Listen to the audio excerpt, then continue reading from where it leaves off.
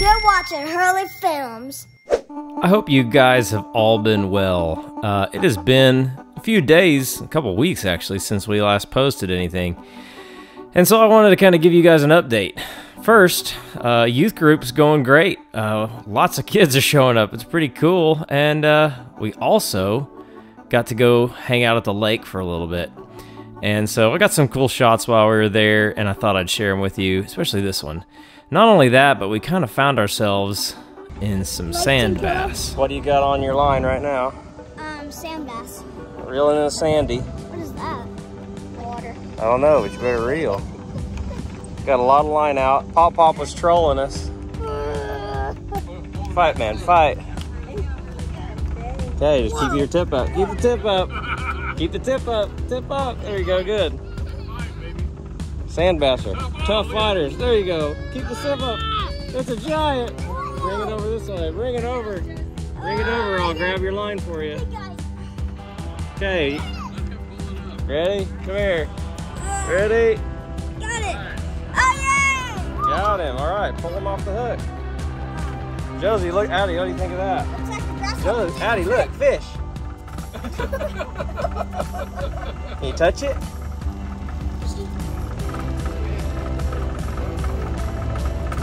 All right, Hurley, get them off. All right. Sandy, Can I throw him in? good job, Hurley. Here, turn me back. Got him. Come here, buddy. Nice knowing you. Fish flip. Oh, Belly flop. fish flop. Good job. I'm glad I got Daddy's first fish in person. So the lake is always fun. Uh, Hurley got to do some kneeboarding. We did some tubing, and then me and my mom and my sister all decided to ride the tube together, and you saw how that panned out. Um, we also had competition to see if we could stand up on the kneeboard. Uh, also didn't go great, but the lake was fun.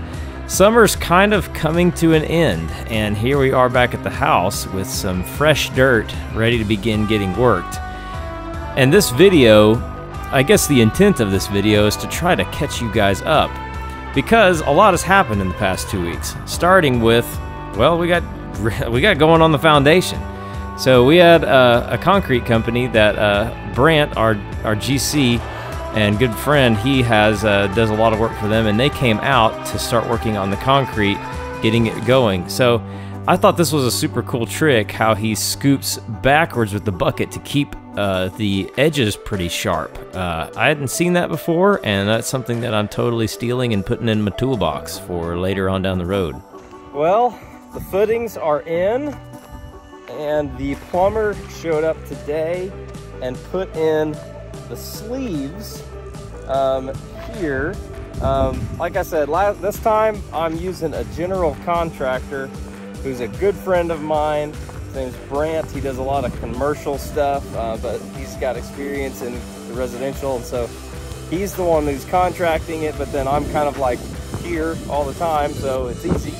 But the footings are in. The guys that dug the footings did a great job. Um, and now we just need concrete. Hopefully that's going to happen tomorrow. Um, the guys who showed up with the concrete, they did not show up with anything to dig the piers. So this whole side, I'll step over here. So this whole side here, here, here, here, and then back to about here in the middle, this side will get piers on the entire footing. So every 10 feet, we'll get a pier. And that'll help hold all that fill dirt, all of this fill dirt. After they had the footings in, we had to wait a couple days. Uh, they had some other pours scheduled.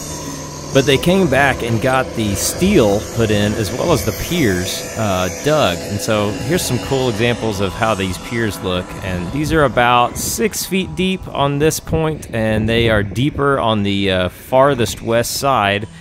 But we had about 10 piers in total put in, and those are going to help so much with the structural stability, especially down there on the west side with all that fill dirt. If you've got pretty loose soil or really clay soil in general, um, piers are something that would be really good to look into because uh, they're. Here's a good little uh, downward in look, so you can see this is like one of the six foot piers. Okay, everybody. Um, as you've seen in the videos previous uh, footage, we have got rebar in the ground. This is awesome. Um, the corners are all completely tied in. Like you can see, they've got the uh, all the actual corner pieces tied. All the steel is tied. We've got our sleeves in place. This is where the water in uh, is coming into the house. So you can see the concrete behind me. The old well house is right in here, so the corner. And that's where the water was coming and it ran across the, the uh, concrete here. I don't want to cut through my concrete. So the alternative is that we're going to have to go out and around the concrete and then down into that hole.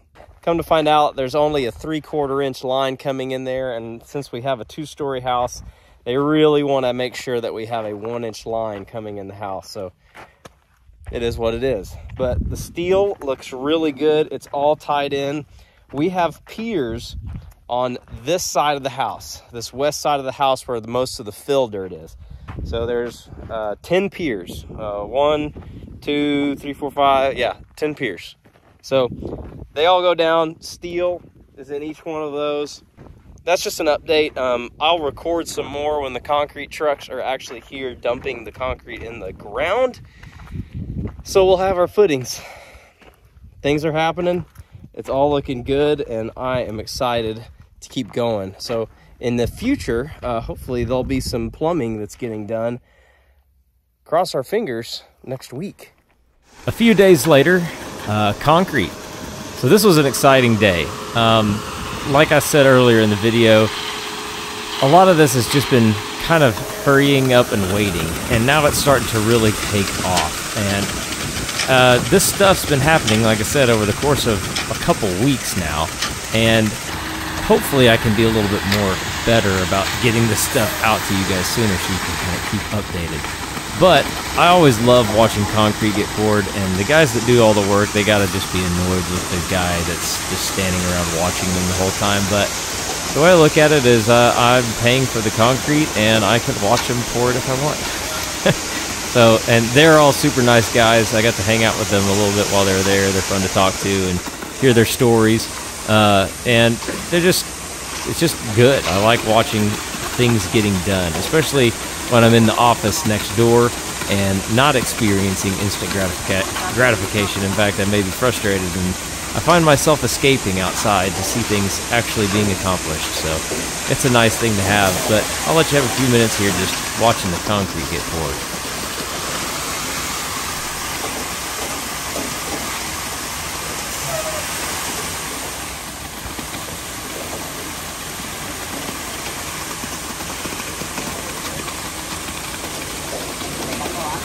Yourself in this next shot, that sure looks a lot like Austin, but he's way skinnier. Austin's lost a lot of weight, so yeah. We've all lost, our, our whole family's been on kind of diet mode, so I, it'd be interesting to see what our collective weight loss total is. Well, look at that. Look at that. Would you look at that? Concrete in the ground, friends. Feels nice to have some more things done. Um, anyway, I, I, mean, I don't know how much more to show you. Uh, you saw concrete getting poured and you saw it's already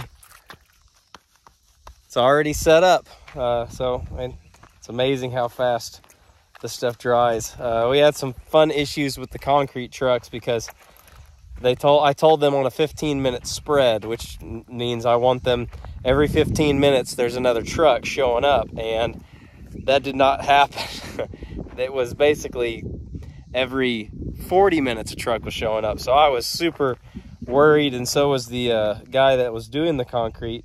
Both of us were worried that uh, we were going to have a lot of cold joints, which is when concrete. Anyway, it's not good. That's let's just say that. But um, none of that happened, so we're all good there. We've got uh, these stems coming out I think that's what they're called. I'm not exactly sure. Um, but those will tie into the foundation or uh, the slab when it gets poured. Um, tomorrow uh, we get a day off and it's going to be nice. Um, then on Monday, plumbing starts. So it feels like for so long it was a hurry up and wait, hurry up and wait, hurry up and wait. And here we are, uh, where now it's going to kind of begin taking off. So exciting. Um, we're still working on windows. That's the fun of all of this. And uh, uh, when hopefully this area over here has a bunch of pipes running in it. So we'll see what happens. But till then, we'll see you when I see you. You guessed it. Next, we started plumbing. I didn't actually get really any good video of the plumbing because I was actually on some shoots the whole time that they were doing the plumbing. Uh, but I did get some cool drone footage with a, a new drone that I got. It's a DG, DJI Mini Pro 3, and it is tiny, and I cannot believe the footage it gets. And it can shoot in this cool vertical orientation, which I was just playing with, but you kind of get a little cool top-down look at the plumbing. But once the plumbing was done, uh, the guys, Valentine and his guys came back and they got ready to get going on getting the rebar tied and the sand put in, everything leveled out to where we could get the four inch slab poured. We kind of had the same issue with the concrete trucks again, which was super frustrating, but it ended up working out. Um, they got everything level, and the concrete is very well done. Very well done this time. So I spent about three or four days with the sprink- sprinkler basically constantly running on it, trying to keep it as wet as possible. And the first thing that happened is Casey and the kids immediately wanted to come over and check things out. So, of course, if you mix wet concrete and a baby, uh, you're going to get mixed results, uh, especially when they go running through it. But check out the sunset tonight. It was just gorgeous. And then Addie got to go play.